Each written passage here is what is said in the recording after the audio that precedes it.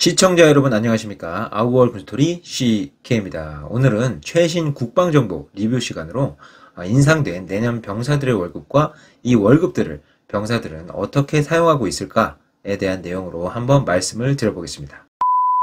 익히 여러 매체에서 보신 분들도 많으시겠지만 내년 우리 병사들의 월급은 2021년보다 11% 정도 인상되어 2등병과 1병은 50만원대, 상병과 병장은 60만원대를 받게 되었습니다. 정말 이 매년 인상되는 병사들의 월급을 볼 때마다 정말 감회가 새롭고 신기하고 파격적인데요. 정말 저보다 더 선배님들이 보실 때에는 더욱더 격세지감을 느끼실 것 같습니다. 그러면서 한편으로는 상대적이지만 요즘 군생활 하시는 분들은 육체적 필요야 뭐 예나 지금이나 모두 힘들겠지만 금전적인 면에서 정신적으로 좀 더 여유롭게 군생활을 하실 수 있지 않을까 싶고 이로 인한 것들이 어, 장병들의 사기 진작과 군의 전투력 발전에 이바지하는 것이라면 정말 올바른 방향으로 나아가고 있는 게 아닌가 싶습니다. 우리 현역분들 또 입대 예정자분들 월급 인상 축하드리고요. 국방부에서 발표한 국방 중기 계획에 따르면 2025년까지 병장 기준 거의 100만 원까지 올린다고 하니 더욱더 좋은 일이 아닐 수 없습니다. 그래서 2022년 새 정부 출범에 따라 아, 국방부의 목표가 달성되는 모습을 차차 지켜봐야 될 것 같고 참고로 우리 입대 예정자분들은 지금까지 군에 대해 별 관심이 없으셨을 테니 월급 인상의 기쁨이 체감적으로 별로 와닿지 않으실 수도 있는데요. 재미 차원에서 1970년대부터 지금까지의 병사 월급의 변화를 간단히 보시고 이걸 보시고 나시면 좀 느낌이 새롭지 않을까 싶습니다. 그리고 설명은 병장 월급 기준으로 설명드리도록 하겠습니다. 그래서 1970년대에는 900원에서 3,000원대까지 병장 월급이 올라갔고요. 1980년대에는 어, 3,000원대에서 8,000원대까지, 1990년대에는 9,000원대에서 13,000원대까지, 2000년대에는 13,000원대에서 9만원대까지, 2010년대에는 10만원대에서 40만원대까지, 그리고 이제 2020년대에 접어들어서 50만원대에서 60만원대까지 다다르고 있습니다. 물론 물가적인 국가 경제 면에서 같이 성장을 한 것이겠지만 재미있는 역사적인 사실들이 아닐 수 없고요. 우리 입대 예정자분들께서는 선배님들에 비해서는 좀 더 풍요로운 군생활을 할 수 있지 않을까라는 면에서 작게나마 감사함을 가지시면 좋을 것 같습니다.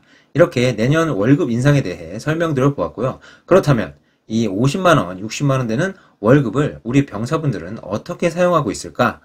저도 간부로 군생활을 하면서 병사들이 어디에다 돈을 쓰는지 자세히 알아보진 않았어도 저의 기억에는 참 먹는데 많이들 썼던 것 같습니다.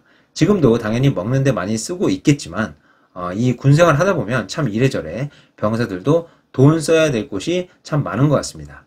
그럼 어디에다 쓰는지 대표적으로 다섯 가지 정도로 알아보면 먼저 적금입니다. 아 이건 예전 제 부대원들 중에도 물론 적금을 하는 친구들이 있었지만 그때 당시에는 월급이 10만원, 20만원대라 부족해서 못하거나 안 하는 친구들이 더 많았는데 지금은 금액이 많이 오르다 보니 적금을 많이들 하는 것 같습니다.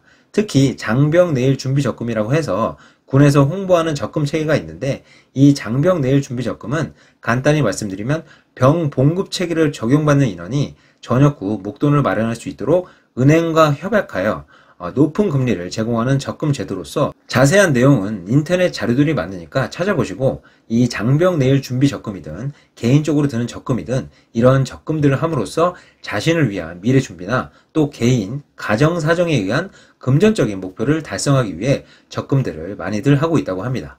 그리고 두 번째는 선물 비용과 가족 용돈입니다. 아, 이 부분도 예전에는 참 하기 어려운 모습들이었는데요. 월급에 여유가 좀 생기다 보니 이런 아름다운 모습들도 늘어가는 것 같습니다. 여친이 있으신 분들은 지출이 좀 오버되실 수도 있을 것 같다는 생각이 드네요.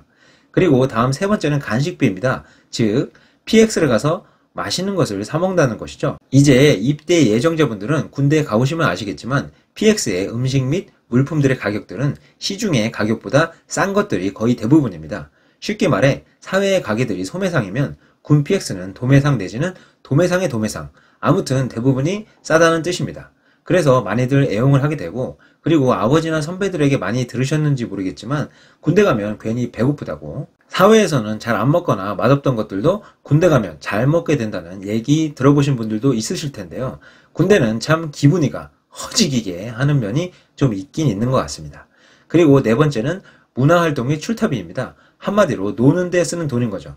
군인도 훈련 열심히 했으면 다음은 놀아야죠. 그래서 부대에 요즘 복지시설이 점점 확충되고 있으니 특히 노래방들이 거의 없는 부대가 없을 겁니다. 그래서 노래방비, 또 오락실 있는 곳도 많죠. 그래서 오락비, 이런 여가 활동비에 500원, 1000원, 몇천 원씩 사용을 하게 되고 또 요즘에야 코로나로 많이들 통제되어 있지만 외박, 외출, 휴가 나가면 또 돈을 쓸 수밖에 없죠. 특히 휴가 말고 외박, 외출. 휴가는 부모님 돈을 좀 받아 쓸 수도 있겠지만 외박, 외출은 본인 돈으로 거의 100% 써야 하는 경우가 많으니 동료들과 단체 외출을 나간 경우 PC방에, 당구장에 술 진탕 드시면 지출이 이만저만이 아니겠죠. 어느 정도 즐기되 절제된 사용이 필요하겠습니다. 마지막으로 훈련용품입니다. 아, 대부분의 훈련에 관한 보호품들은 부대에서 지급이 되겠지만 아, 개인적으로 추가하고 싶은 아이템이 있다면 본인이 구매할 수밖에 없죠. 예를 들어 어, 혹한기 일주일 훈련에 앞서 어, 부대에서 핫팩이 몇 개씩 나오지만 본인이 더 필요하면 PX에서 사야 되고 어, 또 방한용품이 나오지만 더 따뜻한 두건이나 장갑을 사고 싶으면 또 사야 되고 또 각종 훈련 시 철야 훈련에 대비해 또는 산으로 추진급식을 받았을 때 먹고 싶은 간식이나 소스들을 사고 싶으면 이런 것들은 개인 돈으로 사야 되죠.